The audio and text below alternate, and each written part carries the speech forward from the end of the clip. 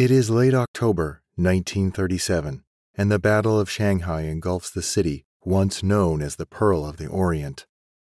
Barely recognizable after more than three months of continuous fighting and siege, historians often compare the intensity of this urban warfare to that of Stalingrad in 1942. Yet this was only the beginning of a brutal war destined to last eight years.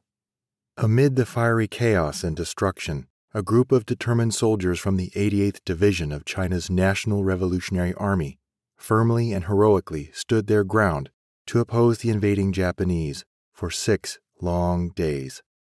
They are immortalized today as the 800 heroes of Sihang, and their story is one of valor and sacrifice. Following the Marco Polo Bridge incident on July 7, 1937, Japan invaded mainland China without a declaration of war. However, it was not until they later reached the suburbs of Shanghai on August 13th that they first exchanged fire with Chinese defenders. The Japanese were hesitant to use artillery or bomber aircraft against suspected Chinese positions along the Suqiu River, since one side contained foreign concessions and international settlements. The use of mustard gas and other chemical weapons was also strictly avoided for fear of inviting foreign intervention.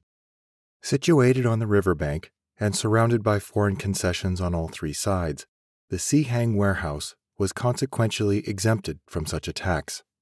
Unfortunately, this meant it had to be rooted out directly by infantry, paving the way to a heroic last stand by Chinese forces.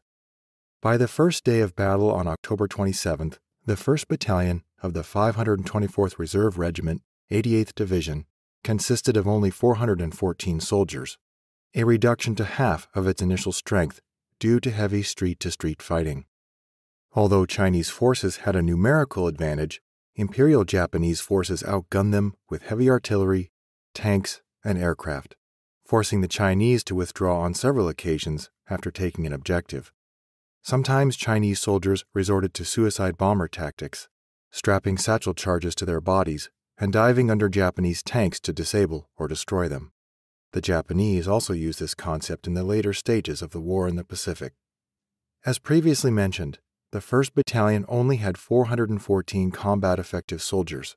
So why were they called the 800 Heroes? In short, their commanding officer did not want to reveal his actual numbers and told the media that they were 800 men ready to fight to the death.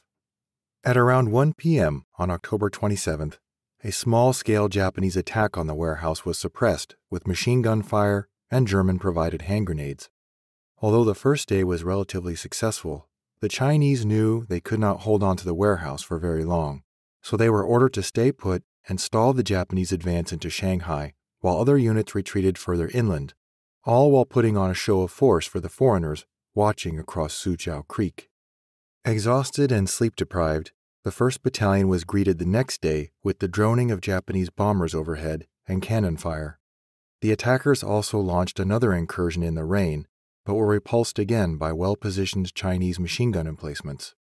After news of the defense of the Sihang warehouse reached locals across Shanghai, they supported the soldiers by donating 10 truckloads of vital food supplies and clothing. They also held up signs with the approximate number of Japanese soldiers and the direction from which they were attacking. The Chinese were also gifted a flag of the Republic of China to erect atop the building, which they did during the early hours of October 29th. This proved to be a significant morale booster, for the next day, around 30,000 civilians gathered on the bank of the Suqiu Creek to show their support and shouting, Long live the Republic of China!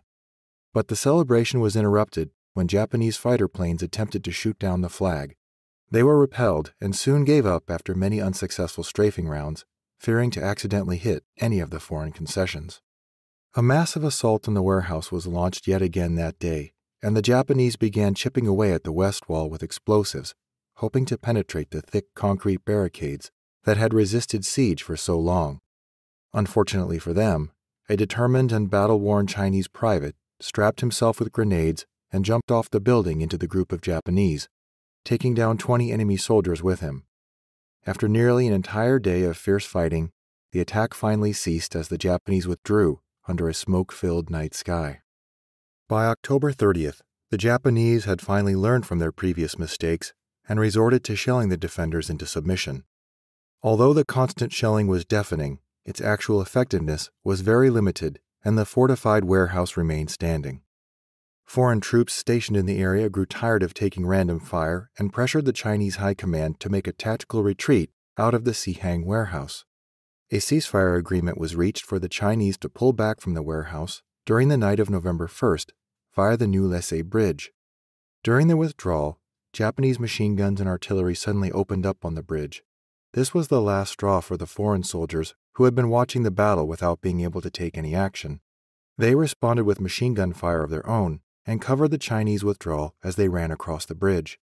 Around 370 soldiers safely made it to the foreign concessions on the other side, only to be arrested and placed in POW camps as part of the agreement with the Japanese for their ceasefire. The Imperial Japanese Army suffered more than 200 killed trying to take the warehouse, which is significant when you consider their overwhelming manpower and equipment. After the Battle of Shanghai, most of China's veteran troops were depleted, and the survivors retreated to the capital city of Nanjing.